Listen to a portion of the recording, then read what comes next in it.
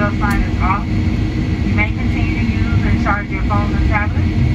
If you're seated in the next row, please don't plug your devices into the outlet.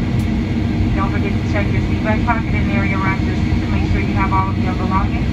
And be careful when opening the overhead bin. Once we arrive at our gate, our airport team will be more than happy to answer any questions you might have.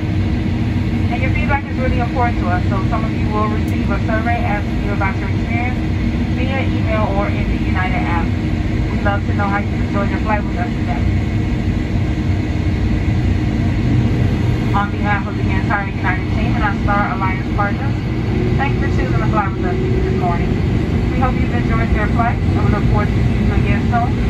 Once the fasten seatbelt sign is turned off, please stay clear of the door area to allow your flight attendants to complete important safety duties.